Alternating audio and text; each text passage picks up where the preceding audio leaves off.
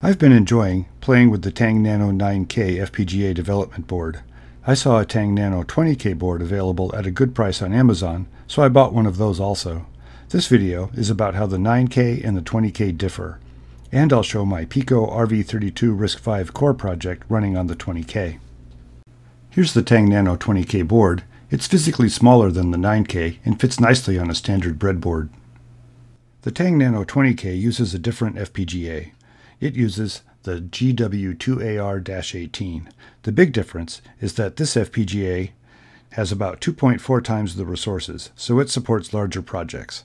Also, the 20K's FPGA integrates an SRAM instead of a PSRAM. In other ways, the FPGAs on the two boards are very similar. They integrate mostly the same hard IP blocks, so they are fairly compatible. Getting started with the Tang Nano 20K is almost the same as getting started with the 9K. The difference is the FPGA that you have to select.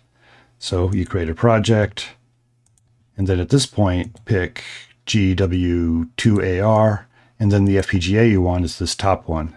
It's the QFN88 package with the SDRAM.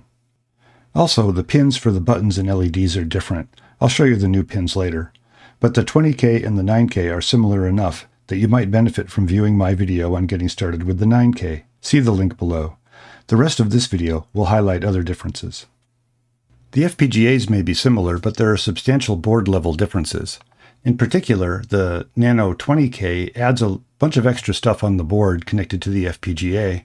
For example, there's a WS2812B LED. That's one of those individually addressable RGB LEDs. And I wrote a controller for that. I'll show you later. And there's this uh, audio DAC that connects to a speaker via a fairly inconvenient connector, actually. And that's driven from the FPGA using I2S protocol. So it's digital audio. And let's see. And then the there's a BL616 that provides the USB connectivity and the UART. And that's a more sophisticated chip than is on the 9K. In particular, it has a processor that runs a firmware that controls an external clock generation chip. And this chip uh, exposes three clocks connected to pins on the FPGA. And the first one is special. It connects to pin 10, which is a global clock pin uh, of the FPGA. And so that means when you use this pin for a clock, it uses the clock routing resources of the FPGA. And that's better for having a, a more accurate clock with less delay variation and such. And um, I'll I'll point out that the 27 megahertz CAN os oscillator is still present, just like on the 9K. But this is not connected to one of those global clock pins. And and let's see, the, there's actually a downside to all this extra stuff. The Tang Nano 9K actually has more unencumbered exposed pins, meaning pins that aren't connected to something that might interfere with your use of them. So you get somewhat fewer pins with the Tang Nano 20K, but, but you get this other stuff to play with. Let's explore the clock generation chip some more. So I've got a small project open here, and what it's doing that's important is connecting the generator chip clock 0 to an external pin clock 0 out, and then clock 1 to clock 1 out, so we can view them on the oscilloscope here on the upper right. And the pins used are uh, pin 10 is for clock 0, and pin 11 is for clock 1. So now let's build this real quick, and we'll see a warning. See, generic routing resource will be used for clock signal clock 1. And that's because pin 11 is not a global clock pin input. Pin 10, pin 10 is, and that's why using pin 10 is a good idea. Now let's load the FPGA program.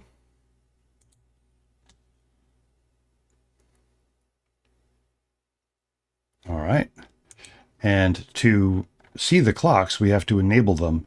And for that, you connect a terminal emulator to the FPGA using the USB-C. And to get into the mode where you can enter commands to the 616 chip, you do Control X followed by Control C followed by Enter, and you get this prompt.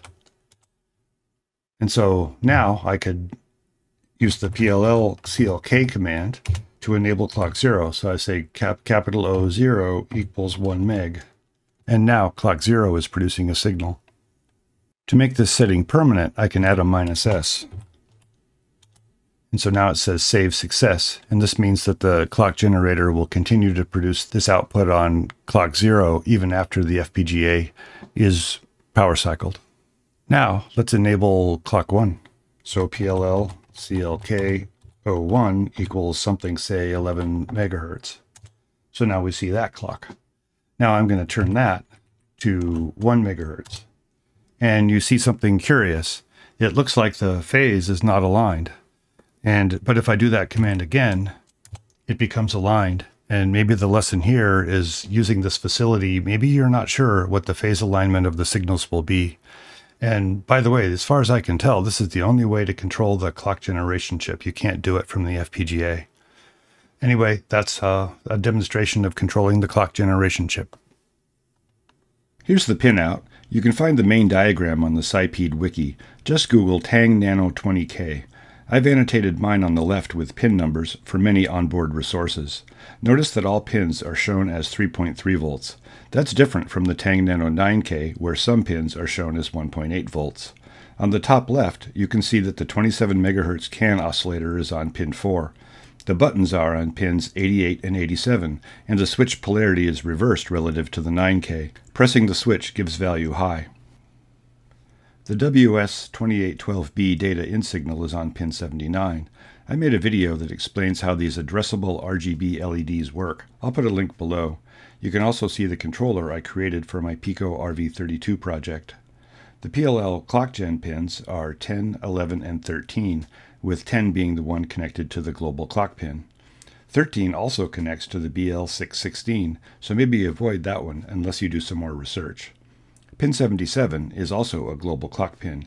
It should be a good choice for external clock sources. You can see that these pin assignments are very different from the pin numbers on the Tang Nano 9K, so project constraint files must be adjusted.